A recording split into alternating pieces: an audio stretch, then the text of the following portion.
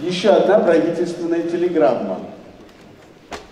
Уважаемые коллеги, поздравляю коллектив Балтийского государственного технического университета военмех с 85-летием со дня его основания.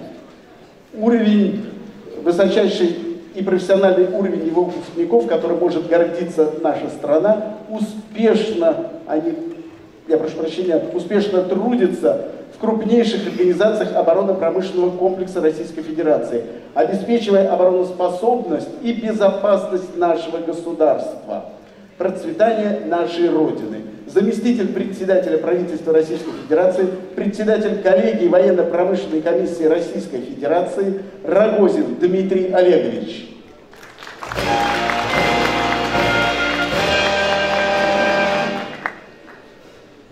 Служба внешней разведки Российской Федерации.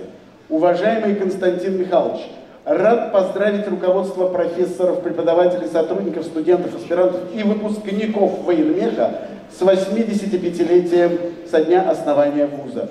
Созданный в 1932 году для подготовки высококвалифицированных инженеров для отечественной оборонной промышленности, военмех все эти годы динамично и всесторонне развивался, занимая сегодня лидирующие позиции среди высших учебных заведений страны, технической направленности вуз готовит инженерные кадры в области оборонных технологий и высокотехнологичного сектора экономики, ориентированные также на технику и технологию ближайшего будущего.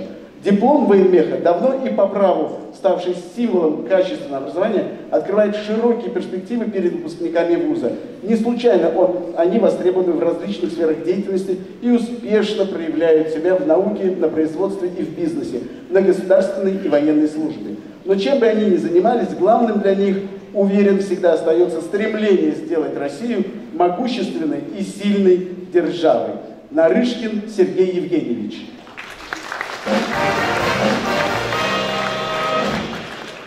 Я, глядя в наш зал, вижу председателя законодательного собрания Санкт-Петербурга Вячеслава Серафимовича Макарова. Вячеслав Серафимович, можно пригласить вас на нашу сцену?